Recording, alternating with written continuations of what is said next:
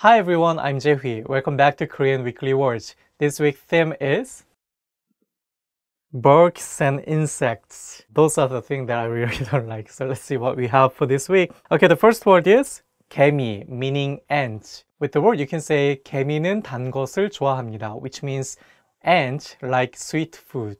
Okay, next we have 매미. 매미 is the word meaning cicada. Uh, with the word, you can say 여름에는 매미 때문에 시끄럽습니다, which means in summer it's very noisy because of um, cicadas.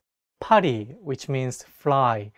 Well, you can make some sentence something like 파리에 가면 파리가 많이 있습니다. If you go to Paris, you can find many flies. Paris, the city name, and the fly use the same spelling, 파리. Um, there's no connection though. Okay, next we have 벌레, which means worm. You can say 어떤 사람들은 벌레를 먹는 것을 좋아합니다, which means some people like eating worms.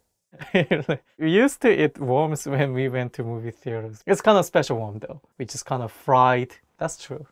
okay, next we have 무당벌레, which means ladybug. I like this English translation um, saying ladybug because if you break it down, the, this Korean word actually means something like the bug that looks like a witch doctor.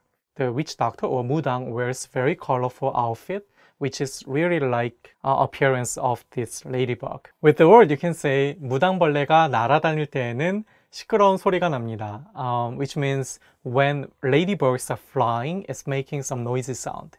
Okay, next we have the end. Okay, that's all for this week. I hope you enjoyed all of them. I will see you next week. 다음 시간에 뵙겠습니다. 안녕히 계세요.